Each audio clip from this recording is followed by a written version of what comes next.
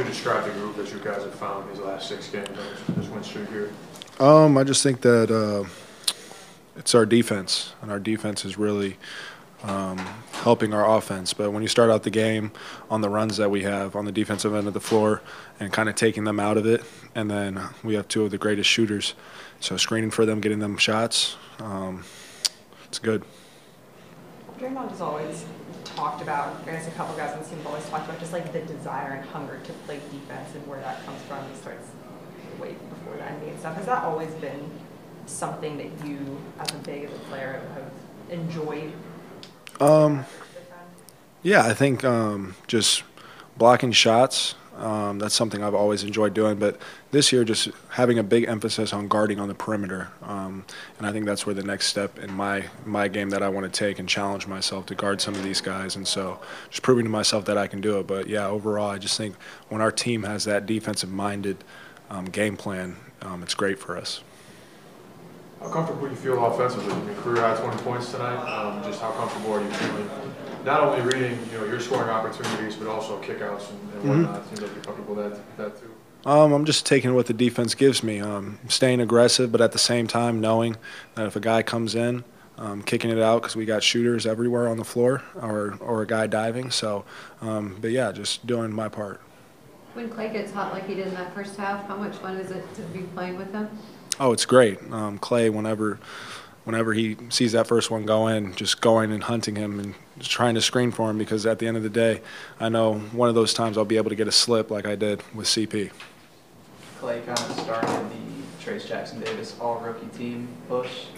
um, is that something that's on your radar and is that a goal of yours? Um, I mean, at the end of the day, I just go out there, play as hard as I can, um, and then I let that do the talking. So. PR All right, are we good? What do you think the uh, Trayce Draymond front court pairing has done for the defense? I mean, it's no secret we're a smaller team in general. Um, early in the year, before the, uh, you know Draymond missed some games, there was you know a little bit of him at the five or a lot of him at the five, and even when he came back, and he's obviously capable of doing that, but on a night-to-night basis, uh, it's helpful to have you know that presence in there. Same thing Loon's done for us for you know so many years. Um, Trayce has filled that role, gives Draymond a little bit more freedom to you know be a pest out there, being you know help side, be able to attack the ball, knowing that there's some a presence on you know behind him. Trayce has done an unbelievable job of learning how to be aggressive and pick and choose the spots on how to protect the rim and just play sound defense. And then we're trying to fly around around that, and it even helps to have Wiggs, you know, applying so much ball pressure to their primary scorer. So pieces are you know fit. How comfortable do you sense Trayce is becoming on the offensive end as well, not just finishing, but knowing when to kick, kick out the shooters and whatnot?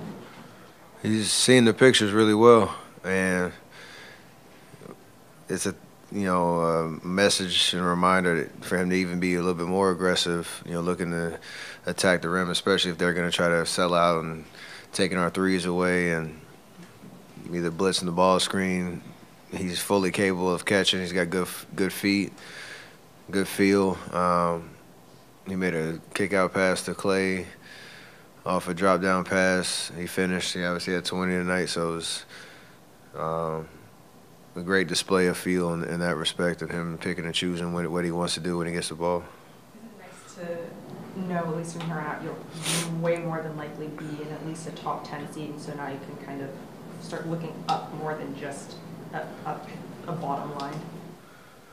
I think for us, we just have to, whatever the motivation has been for each one individually, whether you're looking at below or up or wherever you're looking, keep looking there because it's a matter of us maintaining this momentum because more than likely it's going to be, you know, you have to win one game to stay alive, you know, in a couple weeks. So I don't really care what anybody's looking at, just keep our focus on what we've been doing, as the results have been able to, to show we're, we're locked in and we're motivated.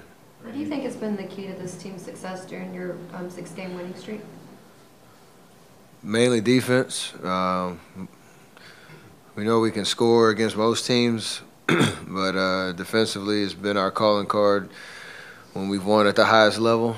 You know, we've usually been top five, maybe top ten defense, and I think in that span we've kind of hit those hit those numbers, and that gives us a great chance, especially on the road. And our record on the road has been great because of that. This team is, uh, this Young Rockets team was very close to you all a couple of weeks ago. There were some remarks that was made, but how much of that competitive fire fuels you all? that stuff helps, but we don't need any extra motivation. Um, we're a, proud group of guys that understand we are capable of winning. We've played way below our level, I think, for most of the year, but for us to be in this situation where we have an opportunity uh, to keep hope alive and, you know, see what happens in a, in a couple weeks to try to get into a playoff series, like, just because we dug deep and you know this it matters to us and really if if you don't have that drive internally you're not really gonna get it from any it, it's all fake if you get it from somebody else but it does help to hear some noise Were you, were you clicking three empty bottles on the bench? absolutely having some fun with it How about the, uh, I mean, you celebrated a foul call pretty uh, substantially. What, uh, I guess, what was that about? Uh, yeah, just happy to get a call that I felt like was pretty obvious. There was one last game that I know there's like a still shot of Gafford all across my arms and the body and the whole deal, and I didn't get any, any free throws on it. Like, I'm not a foul baiter and not a guy that uh, tries or tried not to complain. It happens from time to time, but uh, you can also celebrate when it goes your way too, uh, even if it's a little out of place or demonstrative. We're just having fun with it. How do you avoid like not letting, not getting calls take you out of your game? You had five free throws in five. 15 games. years of experience. What do you say, Steph, about this young Rockets team? You've had a chance to see them a few times. What do you see in them? Physicality, I think, uh, trying to form an identity around, you know, using their athleticism to their advantage. They're a team that you see it tonight. They I think they've got on a winning streak because they try to, you know, unleash their athleticism on the defensive end, try to, you know, force you into turnovers. Obviously, Jalen's playing at a high level these last 10, 15 games.